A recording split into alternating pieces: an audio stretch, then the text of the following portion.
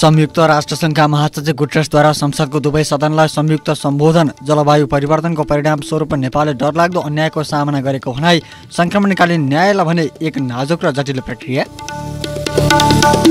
चाडबाडका बेला खाद्यवस्तुको चर्को मूल्य तिर्न उपभोक्ता बाध्य सरकारी नियमनकारीले दैनिक अनुगमन गरे पनि सर्वसाधारणले अनुभूत गर्न सकेनन्।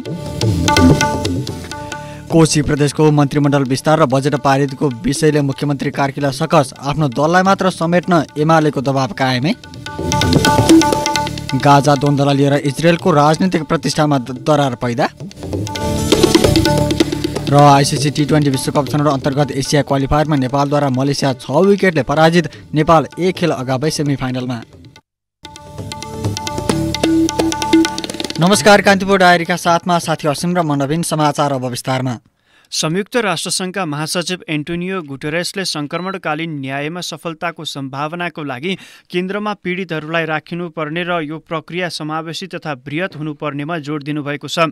नेपाल भ्रमणका क्रममा आज सङ्घीय संसदको दुवै सदनको संयुक्त बैठकलाई सम्बोधन गर्दै महासचिव गुटेरेसले सङ्क्रमणकालीन न्यायको सन्दर्भमा नेपालको प्रगति र समाधान खोज्ने प्रयासको स्वागत गर्नुभयो। उहाँले सङ्क्रमणकालीन न्याय एक नाजुक र जटिल प्रक्रिया भएको पनि बताउनुभयो।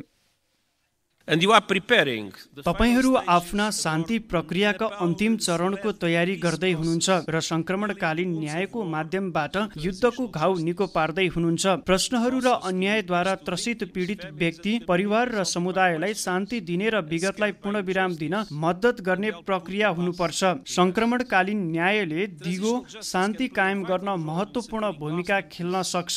तर यो सजिलो भने छैन। स्वभावत यो एक नाजुक र जटिल प्रक्रिया हो। उहाँले जलवायु परिवर्तनका कारण नेपालले भोगिरहेको समस्याको बारेमा पनि आफ्नो सम्बोधनको क्रममा प्रकाश पार्नुभयो।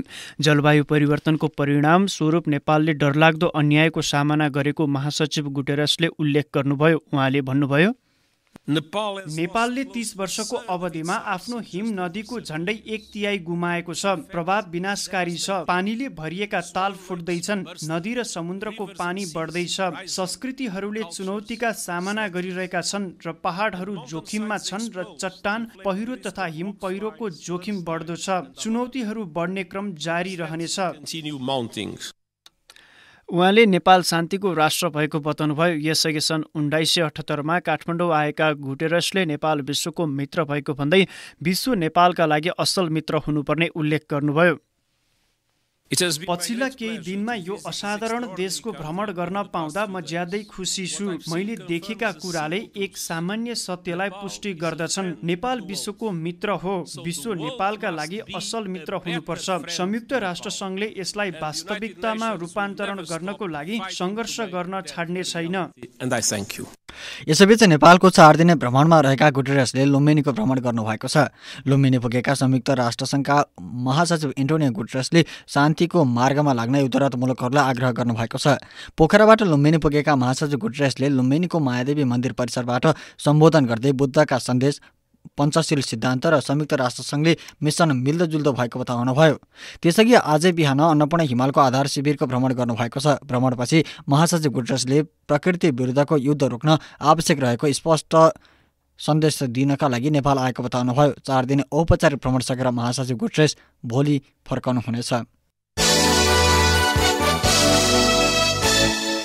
आम द्वन्द पीडित समुदायले नेपालको शान्ति प्रक्रिया टुङ्गोमा पुर्याउन राजनैतिक दल र सरकारलाई आग्रह गरेको छ। निहित स्वार्थको कारण विस्तृत शान्ति सम्झौता सर्वोच्च अदालतको फैसला एवं अन्तर्राष्ट्रिय मञ्चमा भएका प्रतिबद्धता तत्कालीन तत्काल कार्यान्वयन गर्न समुदायले आज विज्ञप्ति मार्फत आग्रह गरेको हो।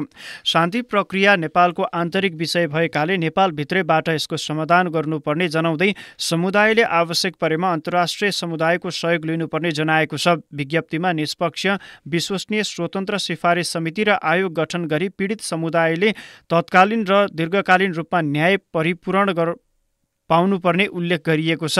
यसैबीच समुदायले आज काठमाडौँको माइती घरमा विभिन्न चरणमा भएका सम्झौता कार्यान्वयनका लागि सरकारको ध्यानकर्षण गराउँदै विरोध प्रदर्शन गरेका छन्।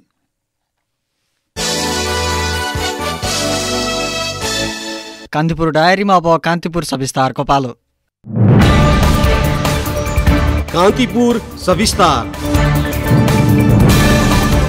सरकारले चाडपर्वका बेलामा बजारलाई व्यवस्थित बनाउने र मूल्य स्थिर राख्ने बताए पनि उपभोक्ताले त्यो महसुस गर्न पाएनन्। व्यापारीको मनोमानीमाथि नियमनकारी निकायको भूमिका निष्प्रभावी हुँदा चाडबाडमा उपभोक्ताको भान्सा महँगियो। अस्वस्थ प्रतिस्पर्धाले बजार अराजक बन्यो। अनुगमनको जिम्मा पाएको नियामक निकाय वाणिज्य आपूर्ति तथा उपभोक्ता संरक्षण विभागले दैनिक रूपमा अनुगमन गरिरहे पनि सर्वसाधारणले त्यसको सकारात्मक अनुभूति गर्न नसकेको उपभोक्ता अधिकार कर्मी बताउँछन्। चाडबाडका बेला बजारमा चिनी पाइन छाडेको छ। पाइहाले पनि उपभोक्ता चर्को मूल्य तिर्न बाध्य छन् दुई हजार सतहत्तर असोजमा प्रति किलो पचासी रुपियाँमा बिक्री भएको चिनी दुई हजार अस्सी असोजसम्म आइपुग्दा किलोकै एक सय पचास रुपियाँसम्म तिर्नुपर्ने बाध्यता छ। जिरामा अचाक्ली नै मूल्य बढ्यो। जिरा पाउडर दुई हजार सतहत्तर असोजमा प्रति किलो चार सय सत्तरी रुपियाँ थियो तर दुई हजार अस्सी असोजसम्म आइपुग्दा एक हजार तिन सय रुपियाँ पुगेको छ। रहर दाल केराउ चना लगायत वस्तुमा मूल्य बढे पनि चामल र खानेतेलको स्थिर नै रहेको खुद्रा व्यापार सङ्घले जनाएको छ। वाणिज्य तथा आपूर्ति मन्त्री रमेश रिजालले दशैं अघि महँगी नियन्त्रणको प्रयास गरिरहेको भन्दै बजारलाई व्यवस्थित बनाउने बताएका थिए। दशैं पछि भने मन्त्री रिजालको बोली फेरिएको छ। आइतबार राष्ट्रिय सभा अन्तर्गतको विधान व्यवस्थापन समितिको बैठकमा उद्योग मन्त्री रिजालले यसरी आफ्नो लाचारी पोखे। दुई लाख र लाख राख्यो भने ठुल्ठुलो ठगी गर्छन् र मान्छे फुत्किन्छन् हाम्रो आफ्नो केही पनि कालो बजार हामीले केही गर्न सकेनौँ गयो समात्यो बढी से बढी सानो तिमीले दस हजार पाँच बिस हजार फाइन गर्यो। ठुल्ठुलोलाई तिन लाख गर्दाखेरि उनीहरू यति नै गर्छ तिमीले पनि। त्यो पनि के छ भने त्यो उठाउने कुनै ऐन त्यसमा छैन। त्यो लिन सक्ने यसैमा पनि त्यो असुल उपर गर्ने भन्ने त्यो नदियो भने के गर्ने भन्ने यसमा छैन। बजार अनुगमनको जिम्मा पाएको नियामक निकाय वाणिज्य आपूर्ति तथा उपभोक्ता संरक्षण विभागले केही वस्तुमा अचाक्ली मूल्य बढेको स्वीकार गरेको छ। माग र आपूर्तिको सन्तुलन नमिल्दा खाद्यान्नका केही वस्तुमा महँगी बढेको बताउँछन् विभागका निर्देशक आनन्द राज पोखरेल। केही केही वस्तुहरूमा चाहिँ अलि बढी नै मूल्य वृद्धि भयो। र अब चिनीमा र जिरामा त सप्लाईमै समस्या आयो होइन त।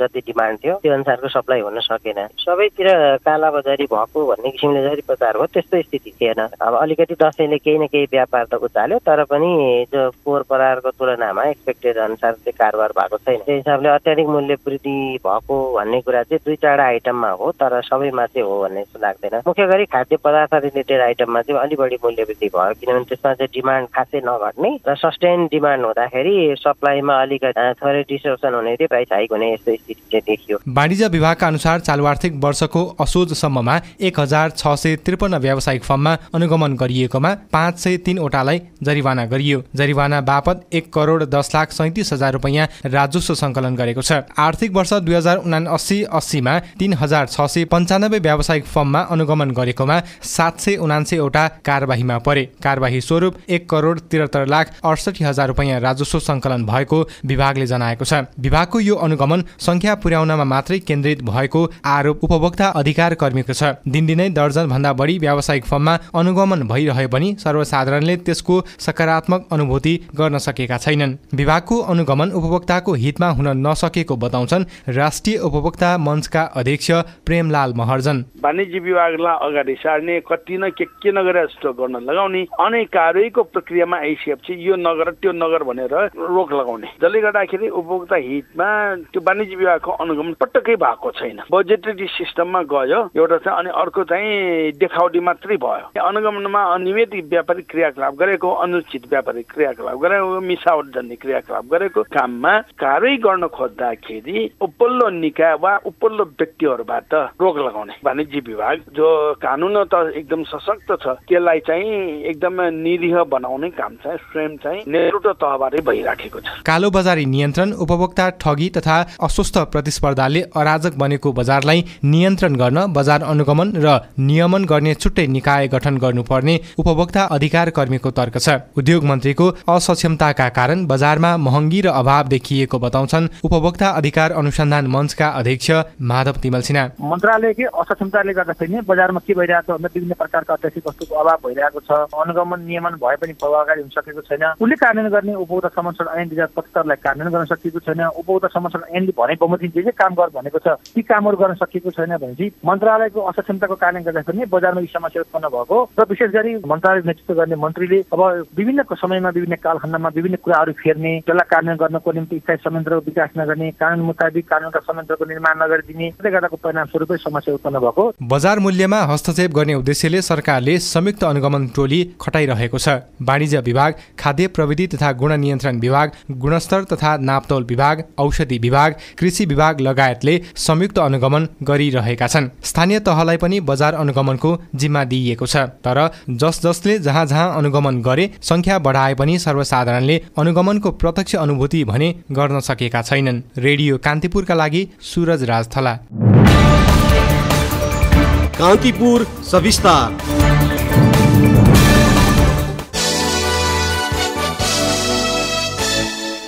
नेपाल अमेरिकी इन्डो पेसिफिक क्षेत्रमा महत्त्वपूर्ण साझेदार रहेको अमेरिकी विदेश मन्त्री एन्टोनी ब्लिङ्कनले बताउनु भएको छ।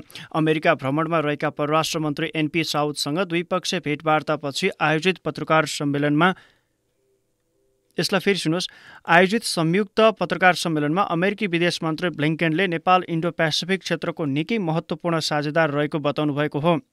अमेरिकाले प्रशान्त महासागर र हिन्द महासागरमा रहेको क्षेत्रलाई इन्डो पेसिफिक नाम दिएर सहकार्य गर्दै आइरहेको छ। अमेरिकाले सन् दुई हजार उन्नाइसमा इन्डो पेसिफिक रणनीति निकालेको थियो। सन् दुई हजार अठारमा तत्कालीन परराष्ट्र मन्त्री प्रदीप कुमार ग्यावालीले अमेरिका भ्रमण गर्दा सो इन्डो पेसिफिकको विषय उठेको थियो। तर सो रणनीतिमा तत्कालीन केपी ओली सरकारले नेपाल सामेल नहुने निर्णय गरेको थियो। नेपाल सरकारले कुनै पनि सुरक्षा सम्बन्धी विषय जोडिएको विषयमा संलग्न नहुने भन्दै सो रणनीतिमा सामेल भएको थिएन। तत्कालीन प्रधानमन्त्री शेरबहादुर देउवा नेतृत्वको सरकारले पनि सो रणनीतिमा नेपाल सामेल नहुने निर्णय गरेको थियो। अमेरिकी विदेश मन्त्री ब्लिङ्कनले अमेरिका र नेपाल बीचको छयत्तर वर्षको कूटनैतिक सम्बन्धको समेत स्मरण गर्नुभयो। इजरायलमा हमासद्वारा मारिएका दस नेपाली विद्यार्थीहरूप्रति विदेश मन्त्री ब्लिङ्कनले संवेदना व्यक्त प्रदान समवेदना व्यक्त गर्नुभएको छ। संयुक्त पत्रकार सम्मेलनमा परराष्ट्र मन्त्री एनपी साउदले नेपाल र अमेरिका बीच निकै लामो र घनिष्ठ सम्बन्ध रहेको बताउनुभयो। अमेरिका नेपालको असल विकास साझेदार रहेको मन्त्री साउदले बताउनुभयो। कान्तिपुर डायरीमा अब ब्रेकको पालो। ब्रेकपछि कान्तिपुर डायरीमा अब बाँकी प्रसङ्ग कोशी प्रदेशको मन्त्रीमण्डल विस्तार र बजेट पारित लगायतका विषयमा सहमति जुटाउन मुख्यमन्त्री केदार कार्कीलाई सकस भएको छ। सरकार गठन लगायत विषयमा छलफल गर्न आज बस्ने भनिएको बैठक पनि बस्न सकेन। कोशीका मुख्यमन्त्री कार्कीले सर्वदलीय सहमति सरकार गठनका लागि प्रयास गरे पनि सहमति जुट्न सकेको छैन। मुख्यमन्त्री बनाउन विश्वासको मत दिने सबै दललाई समेटेर मन्त्रीमण्डल विस्तारको तयारी थाले पनि कार्कीले सफलता पाउन सक्नु भएको छैन। मन्त्रीमण्डल विस्तार बजेट पारित लगायतका विषयमा आज बस्ने भनिएको बैठक पूर्व मुख्यमन्त्री समेत रहेका कङ्ग्रेस नेता उद्धव थापा अनुपस्थित भएपछि बस्न सकेन। कोशी प्रदेशमा केन्द्रीय गठबन्धन अनुरूप सरकार बनाउने दबाव खेपिरहेका मुख्यमन्त्री कार्कीलाई एमाले भने सबै दललाई समावेश गरे र सरकारबाट यसलाई पुनः सुन्नुलाई एमाले भने सबै दललाई समावेश गरेर सरकारबाट बाहिरिने चेतावनी दिँदै आएको छ। यसअघि हिजो बसेको बैठकमा एमालेलाई सामेल गरी सरकार विस्तार गरेर बजेट पारित गराउन माग गरिएको एमाले कोशी प्रदेश प्रमुख सचेतक रेवती रमण भण्डारीले बताउनुभयो। कङ्ग्रेस नेता शेखर कोइराला निकट सांसद र एमालेको समर्थनमा गत असोज सत्ताइस गते मुख्यमन्त्री नियुक्त भएका कार्कीले अठाइस गते एमालेका उपनेता रामबहादुर मगर र कङ्ग्रेसका शमशेर राईलाई मन्त्री बनाउनु भएको थियो।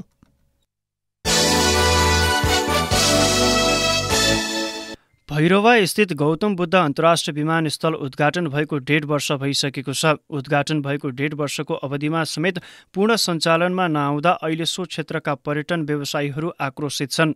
उनीहरूले विमानस्थल पूर्ण क्षमतामा चलाउन सरकारलाई दबाव दिन चरणबद्ध सङ्घर्षका कार्यक्रम घोषणा गरेका छन्। एक सामग्री गौतम बुद्ध अन्तर्राष्ट्रिय विमानस्थल दुई हजार उनासी साल जेठ दुई गते बुद्ध जयन्तीको अवसर पारेर सञ्चालनमा आएको हो। जजिरा एयरवेजको न्यारोबडी विमान उद्घाटनकै दिन बिहान सात बजे विमानस्थलमा अवतरण गरेको थियो। लुम्बिनी प्रदेशमा अन्तर्राष्ट्रिय विमानस्थल सञ्चालनमा आएपछि त्यस क्षेत्रको पर्यटन प्रबन्धनमा ठूलो टेवा पुग्ने विश्वासका साथ व्यवसायीहरूले अर्बौंको लगानी समेत गरे। तर विमानस्थल पूर्ण क्षमतामा सञ्चालन हुने छाट नदेखिएपछि पर्यटन व्यवसायीहरू हतोत्साहित भएका छन्। विमानस्थल सञ्चालनका लागि विभिन्न निकायमा हार गुहार गरेका पर्यटनसँग सम्बन्धित व्यवसायीहरू कतैबाट पनि आड भरोसा नपाएपछि आन्दोलनमा उत्रिने भएका हुन्। सिद्धार्थ सञ्जाल रूपन्देहीका वरिष्ठ उपाध्यक्ष तथा सिद्धार्थ होटल एसोसिएसनका अध्यक्ष चन्द्र प्रकाश श्रेष्ठ भन्छन्। हामीले विभिन्न चरणमा चाहिँ यो चलाउनु पर्छ भनेर चाहिँ नि मागहरू राख्यौँ विज्ञप्तिहरू निकाल्यौँ ज्ञापन पत्र तर पनि यो चल्न सकेन। सरकारले सो विमानस्थललाई देखाउँदै लगानी गर्न निजी क्षेत्रलाई हौसाएको तर अहिले पूर्ण रूपमा सञ्चालन गर्नमा कुनै चासो नदिएर निजी क्षेत्रको अर्बौंको लगानी धराशायी बनाएको आरोप व्यवसायीहरूको छ। सरकारले विमानस्थल सञ्चालनमा चासो नदेखाए आन्तरिक हवाई उडान अनिश्चितकालीन बन्द गर्न समेत पछि नपर्ने चेतावनी सञ्जालका वरिष्ठ उपाध्यक्ष श्रेष्ठले दिए। चाँडै नै यसलाई चलाएन भने हामीले अहिले जति चलिरहेको चाहिँ नि त्यसलाई पनि हामीले चाहिँ बन्द गराउने हाम्रो टार्गेट छ। हामीले यहाँ नाकाबन्दी गर्ने यो अहिले जुन डोमेस्टिक चलिरहेको त्यसलाई पनि यो तिहारपछि चल्न नदिने। चरणबद्ध सङ्घर्षका बारेमा सम्बन्धित निकायहरूमा पत्राचार भेटघाट गर्दै त्यसलाई सफल बनाउन जनमत तयार पारिने सङ्घर्षरत पक्षको भनाइ छ। भैरवामा जजिरा एयरवेजले पुनः उडान भर्ने तयारीमा भएको सरकारी पक्षको तर्क छ। त्यस्तै अन्य वायु सेवा कम्पनीले समेत भैरवामा उडान भर्ने आन्तरिक तयारी थालेको बताउँछन्। नेपाल नागरिक उड्डयन प्राधिकरणका सहप्रवक्ता ज्ञानेन्द्र भुल। नोभेम्बरको चाहिँ सेकेन्ड विकतिरबाट जजिराले फ्लाइट सुरु गर्छ होला भैरवामा। र अहिले अपरेसनल इस्यु भन्दा पनि जे मेन कुरा भनेको कमर्सियल इस्यु नै हो। मार्केट भएपछि मार्केट भएको ठाउँमा एयरलाइन्सहरू उनीहरूलाई जा भन्नै पर्दैन उनीहरू आफै नै जान्छन्। त्यसले गर्दाखेरि वायु सेवा कम्पनीहरू आफ्नो किसिमको प्रिपेरेसन चाहिँ गरिरहेछन्। नेपालको पुरानो त्रिभुवन अन्तर्राष्ट्रिय विमानस्थल बराबरकै क्षमता भएको गौतम बुद्ध विमानस्थलमा अन्तर्राष्ट्रिय उडान नहुनु आफैमा निराशाजनक छ। सरकारले नै सो विमानस्थल सञ्चालनमा चासो नदेखाएको आरोप निजी क्षेत्रले लगाउँदै गर्दा सम्बन्धित निकायसँग भने आश्वासन बाहेक अन्य छैन। तर विमानस्थल आश्वासनको भरमा मात्रै सञ्चालन हुँदैन। रेडियो कान्तिपुरका लागि मनिष अधिकारी।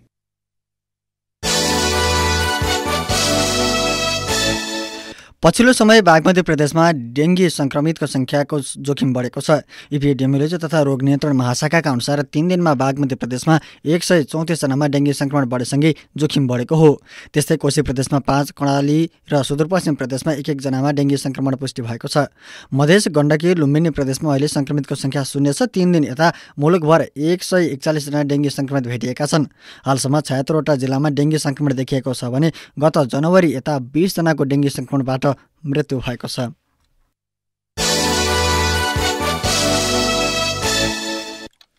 भैरवा स्थित universal college of medical science प्रशासनले आन्दोलनरत सम्पूर्ण विद्यार्थीलाई आन्दोलनका कार्यक्रम फिर्ता लिई शैक्षिक दिनचर्यामा फर्किन आग्रह गरेको छ। विद्यार्थीहरूको आन्दोलनले गर्दा गत महिनाको अन्तिम हप्तादेखि अस्तव्यस्त हुन पुगेको भन्दै कलेज प्रशासनले विज्ञप्ति जारी गर्दै सो आग्रह गरेको हो। आन्दोलनको विषयलाई लिएर आगामी दिनमा कुनै पनि विद्यार्थीमाथि पूर्वग्रही व्यवहार र मूल्याङ्कनमा भेदभाव नगर्ने विज्ञप्तिमा उल्लेख छ। कलेज प्रशासनले लागू गर्न खोजेको नयाँ ड्रेस कोड कोड लागू नगर्ने इन्टर्नसिप तलबमा वृद्धि गर्ने अन्तिम वर्षको रेगुलर कक्षाहरू यथाशीघ्र सञ्चालन गरी आन्दोलनको अवधिमा छुटेको कक्षा सञ्चालन काउन्सिल र विश्वविद्यालयको प्रावधान अनुसार सञ्चालन गर्न कलेज प्रशासनले सहमति जनाएको छ। विद्यार्थीहरूले राखेको अन्य मागप्रति लचिलो भए पनि प्रिन्सिपलको राजीनामाको विषयमा कुनै प्रतिक्रिया दिएको छैन। कान्तिपुर डायरीमा पुनः ब्रेकको पालो। ब्रेकपछि कान्तिपुर डायरीमा अब आर्थिक प्रसङ्ग नेपाल आयल निगमले डिजल र पेट्रोलमा प्रति लिटर चार रुपियाँले मूल्य घटाएको छ। निगमले आज विज्ञप्ति जारी गर्दै स्वचालित मूल्य प्रणालीलाई यथावत रहने गरी भोलिदेखि डिजल र मट्टीतेलको मूल्य प्रति लिटर एक सय चौसठी रुपियाँ पर्ने निगमले जनाएको हो। यसअघि काठमाडौँ पोखरा र दिपालमा डिजेल र मट्टीतेलको मूल्य प्रति लिटर एक सय अडसठी रुपियाँ थियो। त्यस्तै निगमका अनुसार पेट्रोल प्रति लिटर एक सय बहत्तर रुपियाँ तथा खाना पकाउने एलपी ग्यास एक हजार आठ सय पन्चानब्बे रुपियाँ मूल्य यथावत रहेको जनाएको छ। निगमले गत असोज अठाइस गते पेट्रोलको मूल्य प्रति लिटरमा एघार रुपियाँले घटाएको थियो। प्रदेशका छैसठी प्रतिशत परिवार कृषि पेसामा आबद्ध रहेको पाइएको छ। राष्ट्रिय तथ्याङ्क कार्यालयले आज विराटनगरमा सार्वजनिक गरेको राष्ट्रिय कृषि गणनाको प्रदेश स्तरीय नतिजामा सो नतिजा पाइएको हो। राष्ट्रिय तथ्याङ्क अनुसार कोशी प्रदेशका सात लाख छयासी हजार एक सय आठ कृषक परिवारले पाँच लाख बत्तीस हजार नौ सय सडसठी हेक्टर क्षेत्रफलमा कृषि कार्य गरिरहेका छन्। कोशीमा कृषि कार्यबाट भएको आमदानीले वर्षभरि खान पुग्ने कृषक परिवार सङ्ख्या भने चौवालिस दशमलव एक प्रतिशत छ भने कृषि योग्य जग्गामध्ये त्रिपन्न दशमलव पाँच प्रतिशत क्षेत्रफल प्रतिशत क्षेत्रफलमा मात्र सिँचाइ सुविधा पुगेको छ। दुई लाख उनसत्तरी हजार तिन सय उनानब्बे हेक्टर क्षेत्रफल जग्गा धान खेतीका लागि योग्य रहेको सो प्रदेशका प्रदेशमा एक लाख उना सु प्रदेशमा एक लाख उना अस्सी हजार नौ सय सत्र हेक्टर मकै छयालिस हजार चार सय अडसठी हेक्टर जग्गा क्षेत्रफल गहुँ खेतीका लागि योग्य छ। यस्तै कृषि बिमाको पहुँचमा भने कोशी प्रदेशका तीन दशमलव पाँच प्रतिशत मात्रै रहेको पाइएको छ।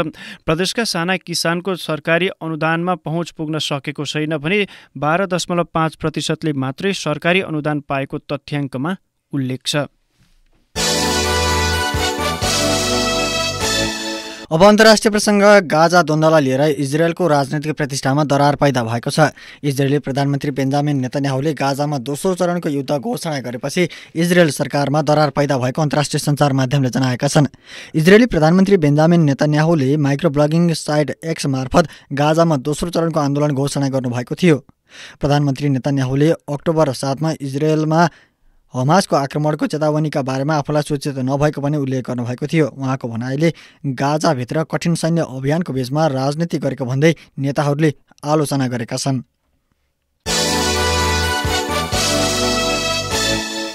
भारतको विपक्षी दल काङ्ग्रेस आईले सरकारले आफ्नो संसदको आइफोन ह्याक गर्न खोजेको आरोप लगाएको छ। विपक्षी दलका केही सांसदले आइफोन निर्माताले पठाएको सूचना सामाजिक सञ्जालमा सार्वजनिक गर्दै सरकारले आइफोन ह्याक गर्न खोजेको दावी गरेको अन्तर्राष्ट्रिय सञ्चार माध्यमले जनाएका छन्। प्रधानमन्त्री नरेन्द्र मोदीको सरकारले वरिष्ठ विपक्ष राजनीतिज्ञहरूको मोबाइल फोन ह्याक गर्न खोजेको विपक्षी दलका नेता राहुल गान्धीलाई उद्धृत गर्दै रोयटर्सले उल्लेख गरेको छ। त्यस्तै गान्धीले सांसदहरूको आइफोन ह्याक गर्न खोजेको गरेको भन्दै मोदीप्रति आक्रोश पोख्दै आफूहरूले सरकारलाई प्रश्न गर्न नछाड्ने बताउनु भएको छ। यता सूचना प्रविधि मन्त्री अश्विनी वैष्णवले भने सो आरोपको खण्डन गर्दै सरकारले एप्पल कम्पनीलाई यस विषयको अनुसन्धानमा सामेल हुन आग्रह गरेको बताउनु भएको अन्तर्राष्ट्रिय सञ्चार माध्यमले जनाएका छन्।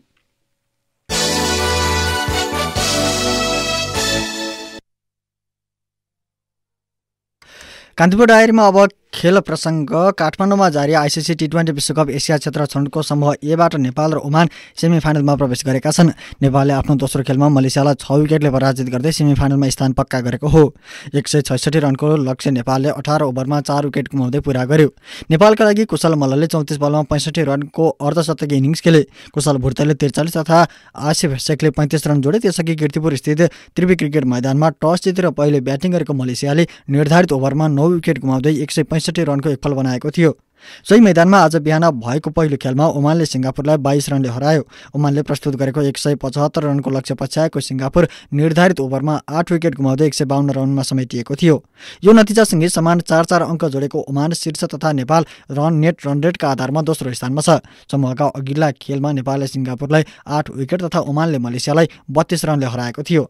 समूह चरणको अन्तिम खेलमा नेपालले अब पर्सि बिहिबार ओमान विरुद्ध खेल्नेछ। सो खेलबाट समूह एको विजेता र उपविजेताको टुङ्गो लाग्नेछ। सोही चरणको एक खेल अगावै नकआउट दौडबाट बाहिरिएका मलेसिया र हङकङ बीच पनि प्रतिस्पर्धा हुनेछ। यसैबीच छनौटको समूह बी अन्तर्गत आज भएका खेलमा संयुक्त अरब इमिरेट्स युएई र बहराइन विजय भएका छन्। मुलबान स्थित क्रिकेट मैदानमा भएका खेलमा युएले कुवेतलाई पाँच विकेट तथा बहराइनले हङकङलाई बिस रनले पराजित गरेको हो। दुई खेलबाट चार अङ्क जोडेको युए समूहको शीर्ष स्थानमा छ समान दुई दुई अङ्क भए पनि नेट रन रेटका आधारमा बहराइन दोस्रो र हङकङ तेस्रो स्थानमा छन्। अङ्कविहीन कुवेत पुछारमा छ अब पर्सि बिहिबार युए र हङकङ तथा कुवेत र बहराइन बीच प्रतिस्पर्धा हुनेछ। सो खेलको नतिजापछि समूह बीको सेमिफाइनल र समूह विजेता तथा उपविजेताको निर्धारण हुनेछ।